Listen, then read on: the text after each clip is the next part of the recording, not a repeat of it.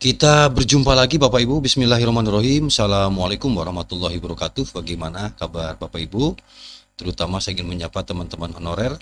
Mudah-mudahan saya doakan semoga semuanya dalam keadaan sehat walafiat, panjang umur, dimudahkan rezeki dan dipanjangkan umurnya. Amin. Kali ini izin ya saya ingin berbagi kembali terutama teman-teman honorer yang gagal menjadi P3K baik di tahap 1 maupun di tahap 2. Dan ini pasti akan diangkat ya. Ini jelas berdasarkan regulasi yang ada. Teman-teman yang gagal lolos P3K tahap 1 dan 2 akan diangkat menjadi P3K paruh waktu. Lalu berapa sih gaji per bulannya? Ini perlu ada kejelasan Bapak Ibu terkait dengan teman-teman eh, yang masuk nanti kategori paruh waktu bagaimana mekanisme kerjanya, berapa eh, jam misalnya perharinya, kemudian berapa lama bertugas, kemudian berapa gajinya, ini juga perlu ada penjelasan sepertinya Bapak Ibu agar tidak ngambang begitu ya terkait dengan pernasiban teman-teman yang gagal di eh, P3K di tahap 1 dan 2. Untuk itu silakan nanti disimak informasinya ya semoga Bapak Ibu ini bisa tercerahkan dengan informasi ini.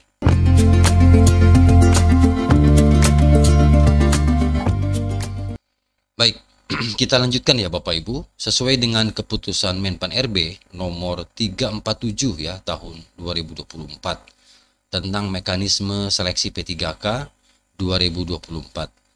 Honorer bisa menjadi ASN lewat dua skema ini. Nah, dua skema ini adalah yaitu P3K penuh waktu dan P3K paruh waktu.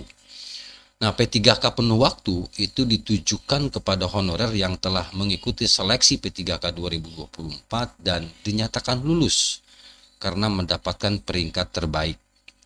Jadi, bagi teman-teman yang lolos seleksi P3K 2024 dengan peringkat terbaik pasti akan dinyatakan eh, dan diangkat menjadi honorer penuh waktu. Bagaimana dengan teman-teman yang tidak lolos baik di tahap 1 nanti dan tahap 2? Nah, ini adalah P3K paruh waktu. Ya, ini di mana P3K paruh waktu ini ditujukan kepada honorer yang telah mengikuti seleksi P3K 2000 namun dinyatakan tidak lulus karena tidak mendapat peringkat terbaik. Kira-kira begitu Bapak Ibu. Nah, dalam ketentuan terbaru pelaksanaan P3K 2024 ini pemerintah telah menetapkan bahwa kriteria kelulusan honorer berdasarkan peringkat terbaik bukan passing grade atau nilai ambang batas. Jadi mekanismenya berbeda dengan seleksi P3K tahun sebelumnya. Lantas bagaimana peraturan mengenai gaji yang diterima setiap bulan oleh P3K paruh waktu? Nah itu pertanyaannya. Ya, bagaimana peraturan mengenai gaji yang diterima setiap bulan oleh P3K paruh waktu? Meskipun memiliki status sebagai ASN dan mendapatkan NIP ya untuk paruh waktu ini Bapak Ibu namun dalam pemberian gaji berbeda dengan P3K penuh waktu. Tentu ya. Ya kalau sama ya ngapain juga dibedakan kan? Nah karena ini dibedakan maka tentu akan berbeda pula hak-haknya. Kira-kira begitu Bapak Ibu. Nah P3K penuh waktu ini akan mendapatkan gaji full sesuai dengan Perpres nomor 11 tahun 2024 Nah, sementara itu gaji yang diterima oleh P3K paruh waktu ya, gaji yang diterima oleh P3K paruh waktu lebih sedikit dari P3K penuh waktu. Nah, hal ini mengacu kepada pengaturan gaji tenaga honorer PMK 49 2023 mengatur tentang gaji untuk tenaga honorer di berbagai instansi pemerintah. Ini mulai dari 2 juta hingga 5 juta 610 ribu per bulan. Jadi nanti Bapak Ibu silahkan coba nanti ditengok ya PMK 49 2023 terkait dengan penggajian honorer ya yang ada di berbagai instansi. Nanti silahkan dipelajari, dibuka untuk PMK 49 2023-nya supaya jelas berapa sebenarnya eh, honorer yang tadi masuk kategori, eh, kategori paruh waktu.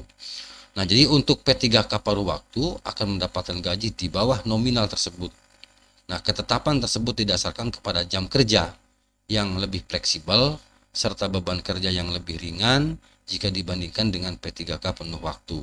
Oke, kita lanjutkan.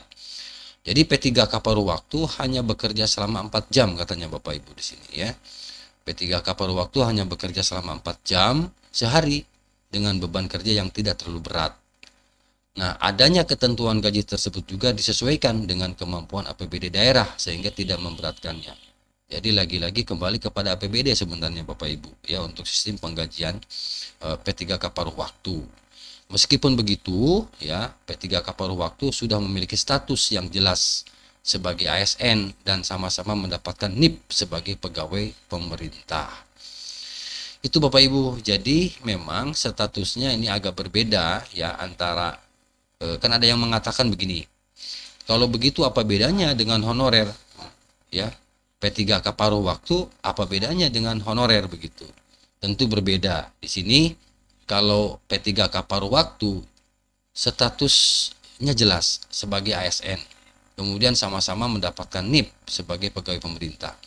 Hanya saja penghasilan dan jumlah jamnya itu berbeda lebih sedikit ya ketimbang eh, P3K penuh waktu itu mungkin ya Bapak Ibu informasi singkat yang dapat saya bagikan Bapak Ibu juga dapat mencari dan referensi lain ya seputar P3K paruh waktu yang digadang-gadang pemerintah ketika eh, teman-teman uh, honorer gagal lolos ya seleksi P3K baik di tahap 1 maupun tahap 2 yang nantinya akan diangkat eh, P3K paruh waktu. Silahkan nanti sekali lagi mencari referensi yang lain ya sebagai bahan pembanding informasi ini begitu Bapak Ibu. Demikian informasi yang dapat saya bagikan Bapak Ibu. Ya semoga ini bermanfaat. Terima kasih. Assalamualaikum warahmatullahi wabarakatuh.